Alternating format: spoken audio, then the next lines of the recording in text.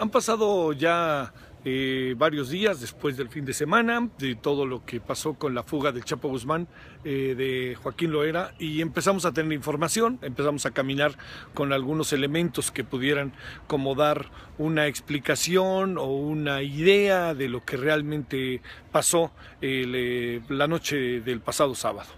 Eh, es evidente que hay una cadena de corrupción brutal, es evidente que hay algunas cosas que el gobierno explica, pero siguen generando dudas. Es evidente que el gobierno está tratando de dar la cara al asunto y que lo está explicando. Pero también es evidente que hay muchas cosas que no son, por más voluntad que se manifieste, no acaban por darle una claridad a lo que pasó esa noche y a la forma en que sistemáticamente se venían moviendo las cosas.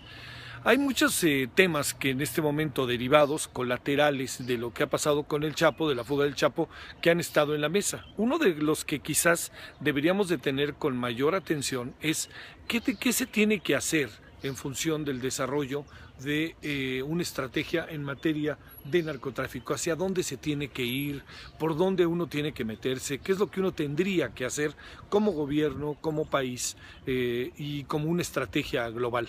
Y yo le diría que algunas de las cosas que eh, uno tendría que pensar primero es que seguimos sin tener una política de Estado manifiesta, clara, que determine hacia dónde se quiere ir.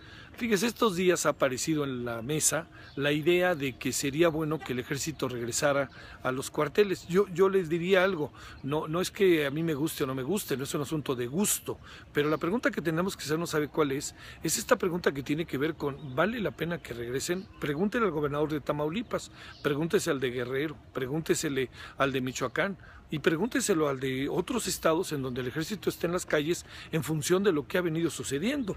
Imagínese lo que sería de varios estados si esto no hubiera pasado.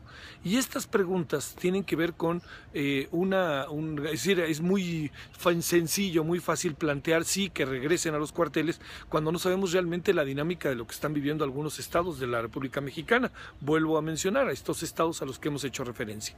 Entonces la pregunta es, bueno, ¿estamos este, reaccionando o estamos estamos diseñando una estrategia? Pues estamos reaccionando, todo se vuelve reactivo. Está pasando esto y ya va esto, está pasando esto y ya va esto. Fíjese, el tema del Chapo es lo que más claramente lo manifiesta. Nos hemos dado cuenta que, bueno, había este, ojos ciegos, que, había zonas en donde no se podía ver, este, porque eran los derechos humanos. Este, nos dimos cuenta también que, que, bueno, alrededor estaban haciendo algo y que hay una gran este, cantidad de irregularidades y de muchas cosas que pueden pasar con los custodios. Vamos a reforzar, vamos, vamos. Y la gran pregunta es, ¿tenemos una política de Estado en esta materia? ¿Sabemos hacia dónde vamos? ¿Sabemos qué es lo que queremos? Como que el gobierno sabe hacia dónde quiere pensar este tema de aquí a 10 años, de aquí a 15 años. Ese está siendo el gran problema, que estamos reaccionando, reaccionando, reaccionando y no pensando el asunto del mediano largo plazo. Agarremos al Chapo Guzmán. Ok, lo van a volver a agarrar. Es una afrenta y de un de hecho de una gravedad fuertísima para el presidente Peña.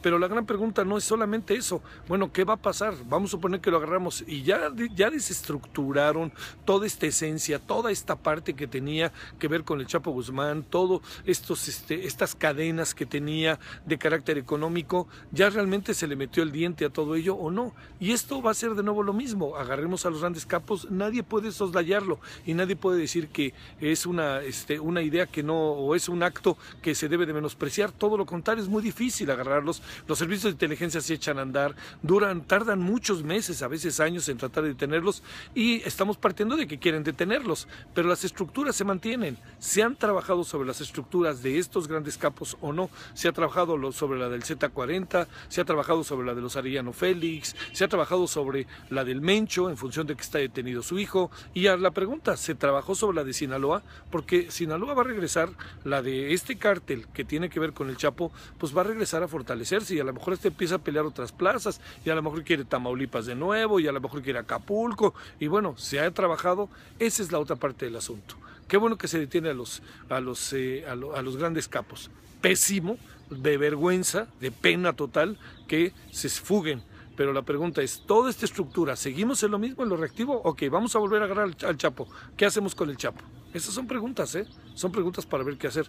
Y seguimos sin tener una política de Estado en la materia. Bueno, aquí andamos. Eh, echen una miradita al libro de ¿Qué quieren que haga de Luis Astorga? Sé lo que le digo, vale la pena. Es un buen análisis eh, sobre el tema del narcotráfico en los últimos años y que tiene mucho que ver con lo que está pasando ahora. Saludos.